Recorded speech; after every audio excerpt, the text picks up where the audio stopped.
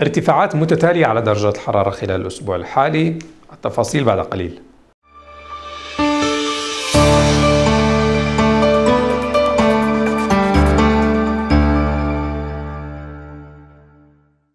أسعد الله أوقاتكم بكل خير متابعينا في المملكة العربية السعودية. نرحب بكم في هذه النشرة الجوية الأسبوعية من طقس العرب والتي سنستعرض فيها تفاصيل الحالة الجوية المتوقعة في عموم مناطق السعودية يوما بيوم واعتبارا من يوم الأحد. يوم الأحد تبقى المملكة تحت تأثير أحوال جوية غير مستقرة خاصة في المنطقة الشمالية الشرقية والجنوبية الغربية زخات من الأمطار متوقعة في عموم هذه المناطق وانخفاض على درجة الحرارة في المنطقة الشمالية وأيضا رياح نشطة وموجات غبارية متوقعة في المنطقة الوسطى.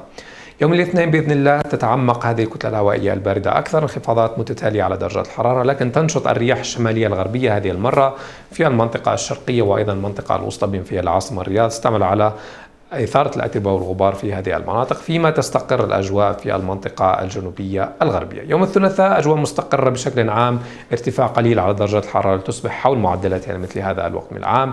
سرعة الرياح تتراجع كمية الغبار أيضا تتراجع وتسود أجواء مشمسة في عموم المناطق. يوم الأربعاء هناك ارتفاع ملموس على درجات الحرارة مع امتداد لمنخفض البحر الأحمر.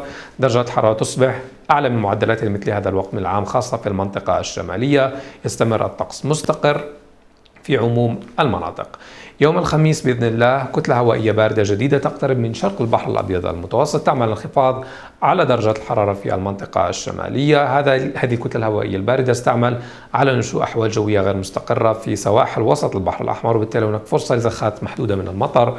على سواحل مدينة جدة يوم الخميس في حين ترتفع درجة الحرارة في المنطقة الوسطى والشرقية والشمالية الشرقية كنتيجة لاقتراب لهذه الكتل الهوائية الباردة من شاطئ البحر الأبيض المتوسط ونشاط في سرعة الرياح الجنوبية في هذه المناطق.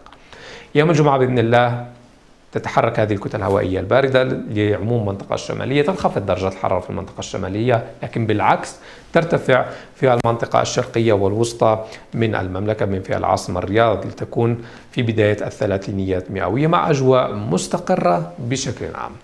إلى هنا تنتهي نشرتنا للقاء